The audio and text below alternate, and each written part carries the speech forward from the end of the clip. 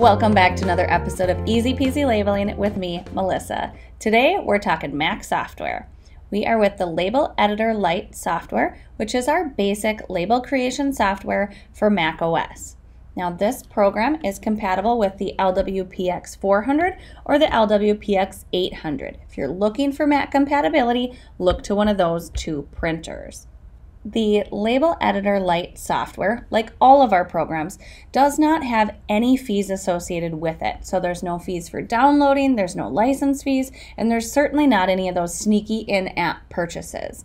Just like all of our programs, it's available for download, install it, and you run it as many times as you would like. Now, I want to show you a couple of the features that this program includes. So let's go ahead and jump into the software. Now this program has, you can see I've got my printer here as well as it will read the printer and tell me what size tape I have in there.